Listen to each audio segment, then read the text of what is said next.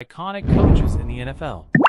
After a dramatic 18-16 victory over the Baltimore Ravens, the head coach delivered yet another one of his legendary quotes. But before we dive into the details, make sure to stick around until the end of the video to find out what's next for the Steelers. You won't want to miss it.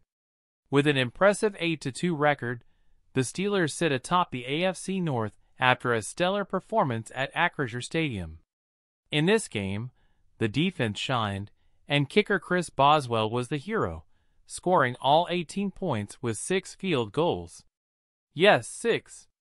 It's the second time this season Boswell has accomplished this feat, and both instances were crucial for securing wins. Despite the praise, many are still wondering how the Steelers have managed to thrive with an offense that has struggled at times throughout the year. After the game, Tomlin was straightforward when asked about the offense's performance. Mike, how would you evaluate your offense today? A reporter asked. And Tomlin, with his characteristic confidence, answered with just one letter, W, referring, of course, to the win. That single word encapsulates everything these Steelers stand for determination, resilience, and a laser focus on victory, no matter how it's achieved. While the offense continues to work on improving, the Steelers have shown they have what it takes to succeed in any situation. Russell Wilson's leadership, the talent of Najee Harris and George Pickens, and Boswell's accuracy have been key. This ability to find ways to win bolsters the team's confidence in high pressure moments.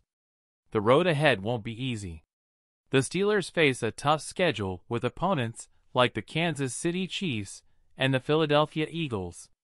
The AFC North remains a fierce battleground, but one thing is clear this team has the character to compete against the best. Oh, and of course, we're looking forward to more legendary quotes from Tomlin in the weeks to come. Fans, what do you think of Mike Tomlin's epic response? Do you believe the Steelers can maintain this level of play and make a deep postseason run? Let us know in the comments, subscribe to the channel, and like the video so you don't miss any updates about your Pittsburgh Steelers. See you in the next video.